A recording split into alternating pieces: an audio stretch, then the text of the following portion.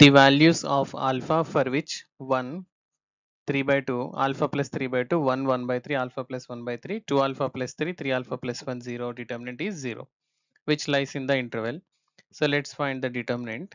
1 times of 1 upon 3 into 0 is 0 minus alpha plus 1 by 3 into 3 alpha plus 1 minus 3 upon 2 times of 1 into 0 0 minus alpha plus 1 by 3 into 2 alpha plus 3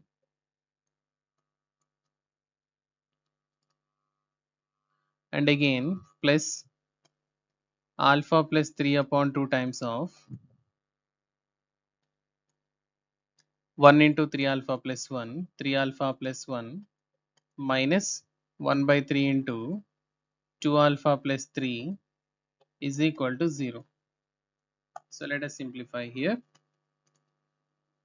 Minus of 3 alpha square plus alpha plus alpha plus 1 by 3 minus of minus plus 3 by 2 times of 2 alpha square plus 2 upon 3 alpha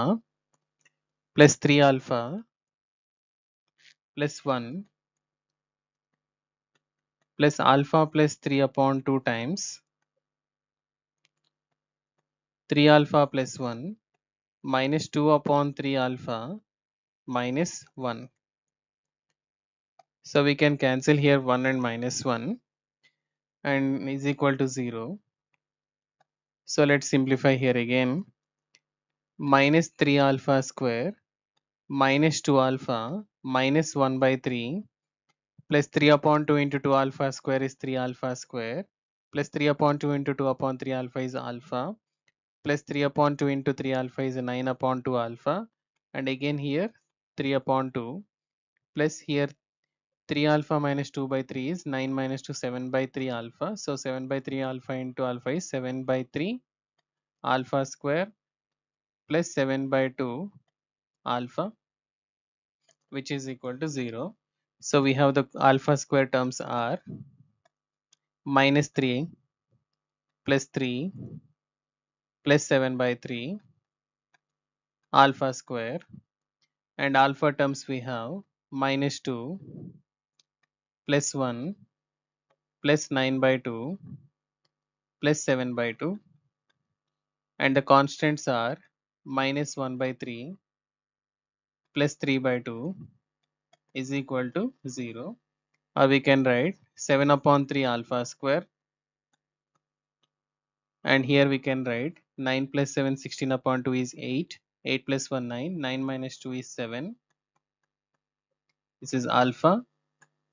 And here 3 minus 1 2 uh, sorry minus 2 plus 9 that is 7 upon 6 is equal to 0 or here we can write 7 taken common alpha square by 3 plus alpha plus 1 by 6 is equal to 0 or we can take 7 times of LCM is 6 we can add 2 alpha square plus 6 alpha plus 1 is equal to 0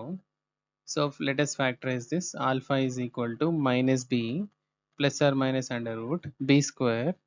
minus 4 into a 2 into 1 4 into 2 that is 8 divided by 2 into 2 4 which is minus 6 plus or minus under root of 28 divided by 4 or we can write minus 6 plus root 28 we can write it as 2 root 7 by 4 or we can say here minus 3 plus or minus root 7 divided by 2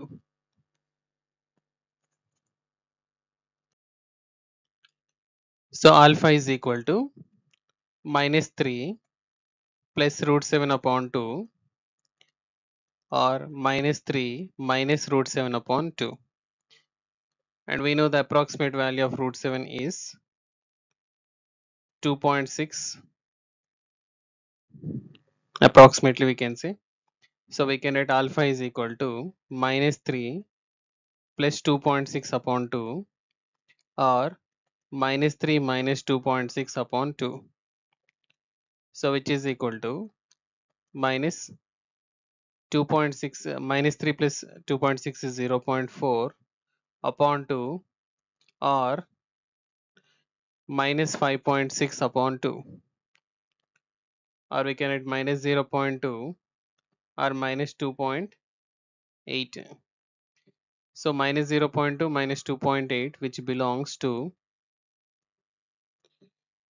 we can say minus 2.8 and minus 0.2 0 and this is 3 so we can say we can conclude that these two values lies in the interval minus 3 to 0 so we can go with an option b